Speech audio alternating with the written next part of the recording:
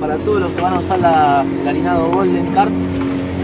Este es un video explicativo de al momento de encarnar en el lugar. Bueno, lo ideal sería tener siempre eh, un kilo de batata hervida o medio kilo, lo que sea, siempre que sobre mejor. Eh, bueno, acá tenemos el harinado, el polvo, solo. Agarramos un pedazo de batata, pedazo de batata, más o menos a gusto, pero lo ideal sería que sea lo menos posible, para que salga seca y de grano. Y lo empezamos a mezclar. Este es el momento del encarno.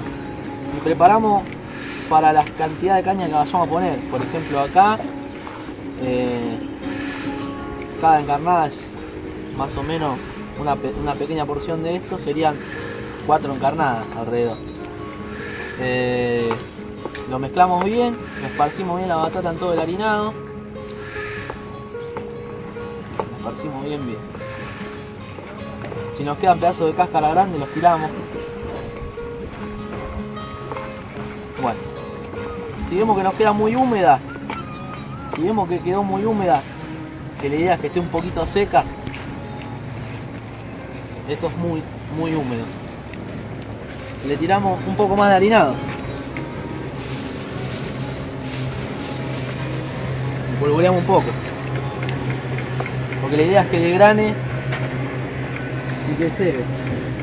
Cualquier vainilla. Yo en este caso ahora estoy usando una genérica, pero la que yo recomiendo, si pueden, si la pueden comprar,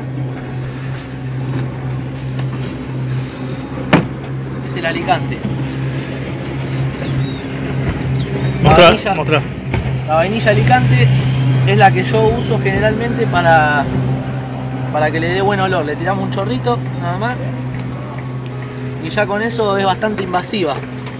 Entonces, si fueran vainilla más económica o otras marcas, tenemos que, que andar eh, echándole más cantidad. Con esto ya con un chorrito ya invade todo el, el harinado, digamos. Y, y lo activa, digamos. Cumple la función de dar olor y de cebar. Bueno, por último acá tenemos el resorte. Que esta- esto es muy importante también, que muchos no, no lo hacen. Tenemos que dejar que el resorte quede en el medio. Lo apretamos, lo dejamos bien en el medio. Le hacemos un tamaño más o menos un poquito menos que la albóndiga, que todos conocemos. Y otra cosa muy importante, los anzuelos tienen que ir la punta escondido y la punta hacia afuera, los cuatro de la trampa en toda la vuelta. O sea, la línea coreana tiene que quedar, bueno, siempre desenredada, siempre con margen, no como yo que ahora la tengo enredada, por eso se me está complicando que los mismos pescados a veces las bogas, los sábalos, nos enredan las trampas. Lo que tenemos que hacer es desenredarla siempre antes de encarnar, que quede bien limpia los hilos. Que esta bueno es de hilos, pero las trampas tienen que ser con multi, para que no nos pase esto. Con el multi no, no pasa esto.